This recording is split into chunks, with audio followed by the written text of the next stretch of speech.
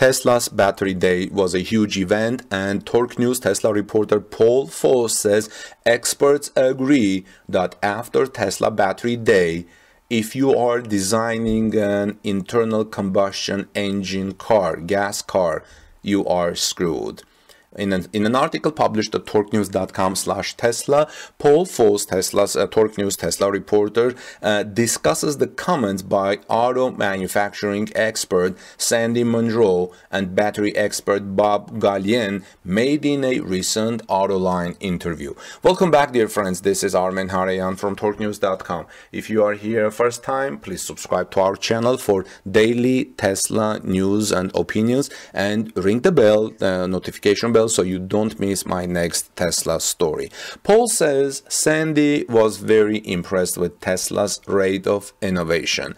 Bob is familiar with the plans of CATL and other major battery producers and stated they are not standing still. They may be able to match or even beat Tesla in battery innovations. If this happens, it's going to beat for it's going to be good for all of us. It's going to push Tesla to be more competitive, to come up with better things, and also it's going to uh, drive competition in battery production, and this is going to bring the cost down. And if the battery cost comes down, Tesla vehicles and electric vehicles will be more and more affordable, especially after we learned yesterday that Tesla will achieve 70 per, uh, $70 per kilowatt hour battery production um, in when it comes comes up with new batteries within the next two three years.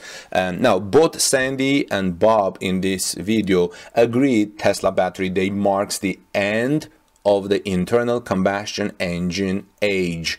These cost declines, battery costs decline, whether from Tesla or other battery manufacturers, eliminate the last niche of ICE cars, low purchase price. No wonder California decided to eliminate the sale of gas cars starting 2035. By the way, I will put the link to that video in the description of this video, so check uh, check it out. That dis uh, discussion between um, Bob uh, and uh, Sandy Munro.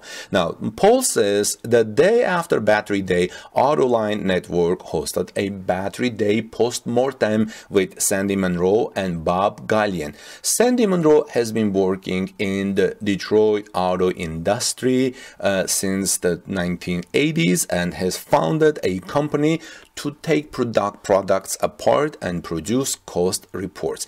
Competitors competitors then pay for these reports because the report is less expensive and easier than doing the work themselves. Sandy Munro became somewhat disliked by the Tesla fans in February 2018 when he compared the Model 3 build quality to a Kia from the 90s. But as he drove the car and evaluated the electronics, battery, and motor, he quickly started to say positive things about the company, about Tesla, Tesla vehicles. After the Cybertruck was announced, he praised Tesla profusely for having the courage to build a vehicle so radically different than existing trucks. He said the Cybertruck should be really cheap to build. Now he is so complimentary that he goes out of his way to state that Tesla has never paid his company a dime. I hadn't heard, uh, Paul says, of Bob Galyen before I watched the video. Like I said, you will have the video in the description of this video. But that is probably because he was working hard as a CTO of Contemporary Amperex Technology Limited. That's CATL, a leader in battery storage, a Tesla supplier in China, battery supplier in China. Paul says he has won a bunch of industry awards, including Talent 1000 Award from China as a National Distinguished Expert, Automotive News Electrifying 100 Award, and General Motors Best of the Best Awards.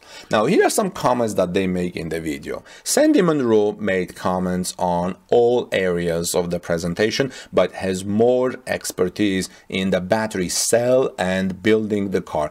Bob Galyen has more expertise. Uh, Bob Galyen has more expertise in manufacturing, chemistry, and materials.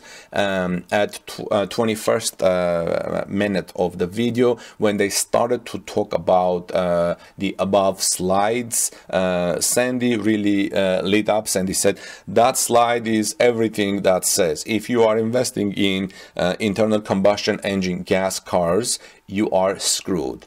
He then went on to attribute this to vertical integration, a well-funded research and development center, and a free reign to be the best on the planet.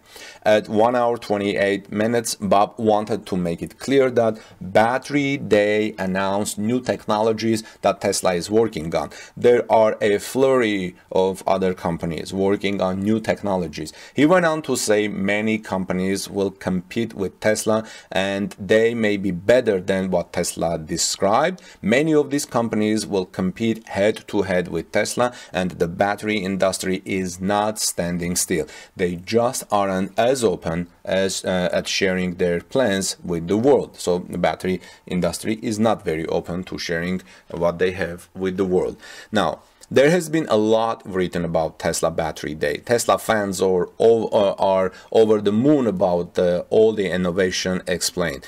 Detractors, on the other hand, were disappointed. Paul says it isn't available today and uh, this is only a roadmap with delays certain to occur. In this discussion, Sandy was consistently impressed with Tesla's plans to make cheaper batteries and radically simplify the manufacturing process of building a car by by casting three big parts instead of combining 370 smaller ones. Bob was impressed by Tesla's presentation, but made it clear that others are working on similar innovations in the battery space, and there is no guarantee that Tesla's innovations will be better than the plans of the competitors. What is different is Tesla's strategy to be so public with their plans and patents. While other companies focus primarily on profits, Tesla focuses primarily on accelerating the world's transition to sustainable energy with profits as a necessary but secondary goal. It appears the future is clear.